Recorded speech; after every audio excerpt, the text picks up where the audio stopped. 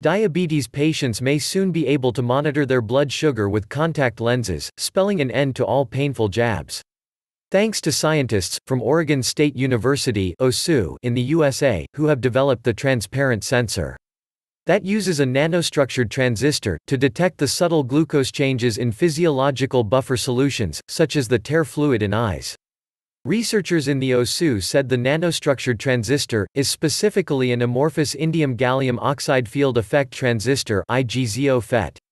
The sensors they fabricated using the IGZO FET will be able to transmit real-time glucose information to a wearable pump that delivers the hormones needed to regulate blood sugar, insulin and glucagon. The sensor and pump would, in effect, act as an artificial pancreas. Type 1 diabetes can lead to serious health complications like retinopathy, blindness, neuropathy, kidney and cardiac disease if the glucose level is not carefully controlled. Even with the contact lens, someone could still manage their diabetes with self-injection. The sensor could communicate with your phone to warn you if your glucose was high or low. Check up on how this simple, three-step strategy treats type 2 diabetes.